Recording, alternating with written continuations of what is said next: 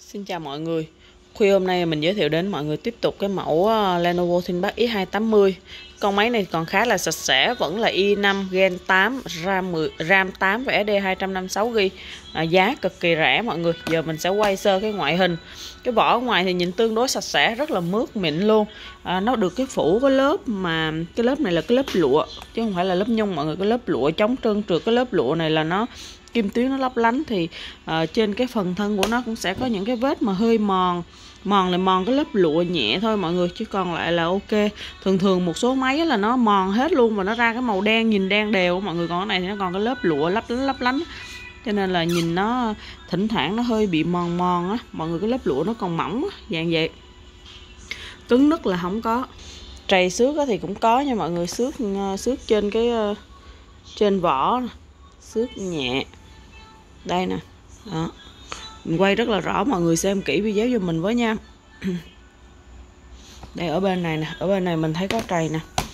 Trước, nhẹ nhẹ, nói chung là cũng rất là nhẹ, mọi người cũng không có ảnh hưởng gì nhiều đâu. Đó. Còn lại là ok. Nhìn thì như thế này thì tương đối sạch sẽ. Các viền cạnh là nó có là chày mòn mượn ánh sáng, mình nhìn mọi người xem giùm mình nha. Ờ, ngõ sạc là sạc tay si nè. Kết nối cũng tay si sấm sét luôn. USB HDMI đó, nhìn nó cái um, còn còn khá là sạch sẽ. Ngõ USB nha. Ở bên trong. Cái này mình đặt nó là mã A197 nha mọi người. Ở bên trong thì như thế này. Con này là màn hình là 12.5 inch có thể bật ngửa 180 độ như thế này nha.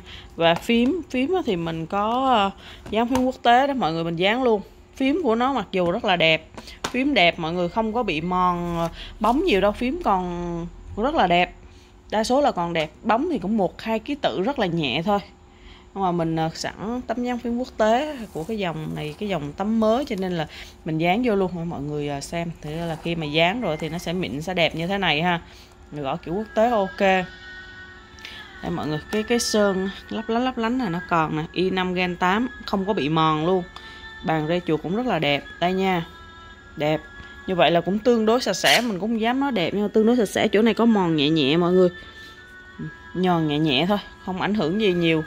À, màn hình này là màn hình HD không phải Full HD nha mọi người. HD nhưng mà nhìn nghiêng rồi dọc vẫn ok và trên cái dòng thinh bắc mà dòng Gen 8 đổ lên dù full à, giờ không phải Full HD nhưng mà hả cái màu sắc vẫn rất là tươi và mịn i5 Gen 8 RAM 8 SSD là 256GB nè mọi người.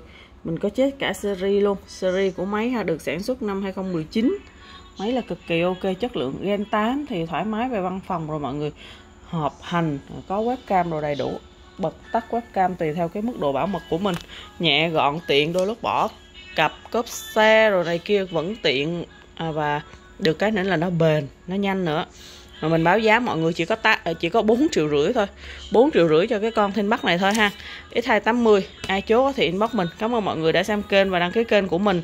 Máy thì lúc nào cũng kèm với sạc zin nên mọi người yên tâm và lúc nào cũng bao dinh hết trơn á. Bên nhà mình về là về sau là như vậy, về rất là nhiều máy. Lúc nào mình cũng nhập, ưu tiên nhập những hàng mà nguyên dinh để về bán và bao dinh cho mọi người. Nhập gì, nhập cái gì cũng được mà tại sao không nhập hàng dinh cho nên là mọi người yên tâm, tất cả là đều bán theo cái tiêu chí là bao dinh không có sửa chữa. Và máy xấu thì sẽ có bán xấu. Ờ đồng ý, nó có mẻ, trầy xấu, bể vỡ gì đó, nhưng mà nó vẫn còn dinh cho nên mọi người yên tâm. Cảm ơn mọi người nhiều. Ai chốt có thì inbox mình nha.